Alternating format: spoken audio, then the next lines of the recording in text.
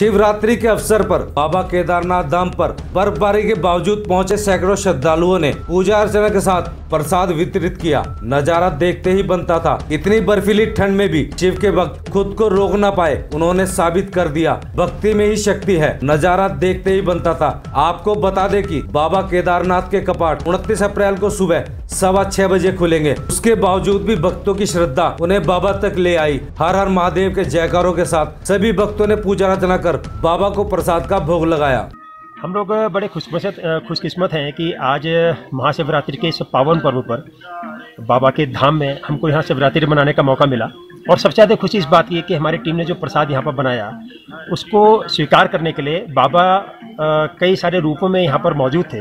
ये सबसे बड़ी बात है हमारे लिए और ये एक ऐसी याद है जो ताउम्र हमारे साथ में भी रहेगी। और हम लोग दुआ करते हैं कि यहाँ पर जितने भी जो श्रद्धालुगण हैं बाबा के, जो पूरे भारतवर्ष से यहाँ पर आते हैं, वो कुशलतापूर्वक यहाँ पर आएँ और बाबा की छवि के दर्शन करने के पश्चात बड़े आनंदपूर्ण तरीके से अपने घर को प्रस्थान कर पाएँ। और सबसे जो हमारा जो ध्यान है इस समय, वो है कि किसी भी तरीके से जो कपाट खुलने हैं, कपाट खुलने से पहले जो यहाँ पर काम जो चल रहे हैं, वो समय रहते यहाँ पर पूरे हो पाए। जिससे कि जो यात्रीगण यहाँ पर जो आएँगे, श्रद्धालुगण जो यहाँ पर आएँगे, वो आनंदपूर्वक बाबा के धाम के दर्शन कर सके।